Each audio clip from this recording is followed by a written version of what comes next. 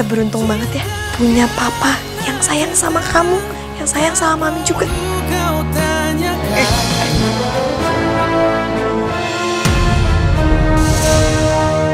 lo sakit ya? Hah? Kalau lo tahu gue udah punya suami, harusnya lo stop pikirin gue.